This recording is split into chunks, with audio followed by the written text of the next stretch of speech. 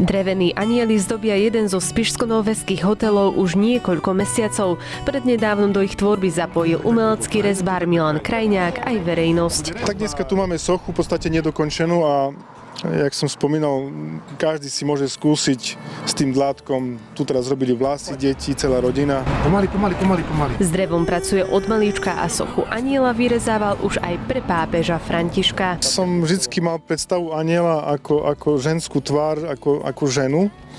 Pre mňa je, je žena ako najkrajšie Božie dielo a vždy, keď vidím um, niečo také pekné, ako je žena, tak sa snažím to dať tomu aj krídla, aby, aby fakt um, tak to cítim tak to cítim. Bolo s, tom, bolo s tým aj trošku problém, lebo keď sme robili napríklad Svetému Otcovi, tak, tak bol trošku problém, že tá ženská tvár bola veľmi zvodná, no ale Hovorím, tak som to cítila a potom to aj, aj prešlo do toho Vatikánu. Obrazy s anielskou tematikou vytvára aj pani Martina. Na konte má vyše 800 diel. Pred tromi rokmi o tejto práci ako vtedajšia manažérka v korporátnej spoločnosti pritom ani nechýrovala. Ja som proste v tej práci vyhorela a zo dne na deň som proste dala výpoveď.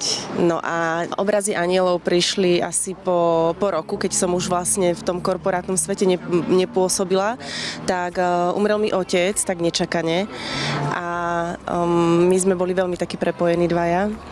No a toto bol odkaz od neho, že proste mám začať maľovať anielské obrazy. Anieli sú nie len umeleckými dielami, ich úloha je hlavne pomáhať.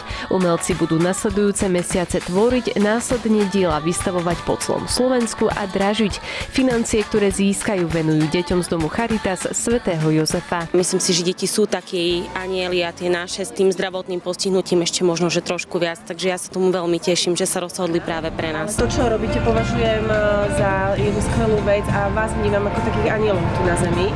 A práve preto si myslím, že ten aniel patrí k vám. Niekoľko z anielských diel bude situovaných aj priamo v zariadení, čím majú podobizne nebeských bytostí deti symbolicky chrániť. Určite to beriem aj ako ochranu, pretože tieto detičky majú vážne naozaj zdravotné postihnutia a verím v to, že už máme zo pár týchto obrazov a že títo anieli nás nejako, nejako opatrujú, pretože sme všetci v rámci možností zdraví. Tvorivé dielne budú organizované aj v nasledujúcich mesiacoch a pripravovaný je tiež veľký charitatívny koncert taktiež na pomoc deťom z domu Charitas svätého Jozefa.